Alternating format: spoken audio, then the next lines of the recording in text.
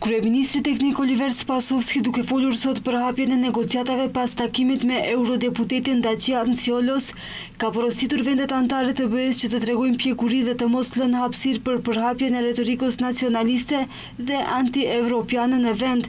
Sipas tij, vendimi i pritur pozitiv nga ana e Këshillit Evropian për anëtarësimin e vendit në BE, Do të rikthejë kredibilitetin e BE-së, do të sjellë proces qasës koherent të parashikueshëm dhe nuk do të dëmtojë arritjet e deritanishme të reformave.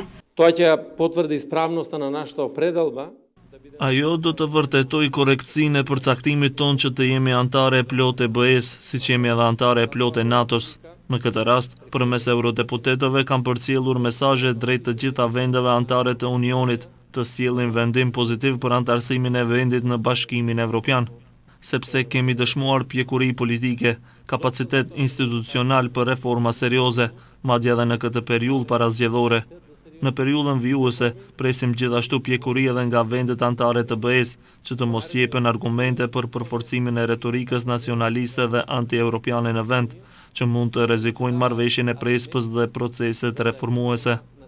Kryetari i Grupit Parlamentar Renew Europe të PE-së, Dacian Ciolos, tha se Parlamenti Evropian mbështet perspektivën evropiane të vendit dhe vlerëson se Maqedonia e Veriut është e gatshme që të fillojë negociatat me BE-në pasi sipas tij, ka përmbushur kushtet që ishin parashtruar nga Komisioni Evropian dhe vendet anëtare. Ai ka porositur që metodologjia e re të shfrytëzohet për reforma reale dhe transformim, pasi kjo është ajo për të cilën kanë nevojë qytetarët. Tani kemi metodologji të re të negociatave dhe mendoj se kjo metodologji duhet të shfrytëzohet, me qëllim që të transformohet procesi i negociatave. jo vetëm në mënyrë administrative dhe byrokrate, në transmetimin e të drejtës së Bashkimit Evropian, por sapo Maqedonia e Veriut të jetë e gatshme në disa fusha dhe kapituj, është e rëndësishme që të sjellim rezultate edhe për qytetarët e vendit.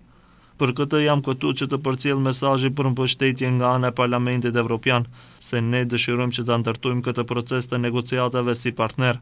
Kuptohet, Maqedonisë së Veriut i nevojiten reforma, por duhet t'i bëjë këto reforma jo vetëm për të përmbushur kushtet për qasje në BE, por edhe nevojiten qytetarët edhe Maqedonisë së Veriut i duan këto reforma.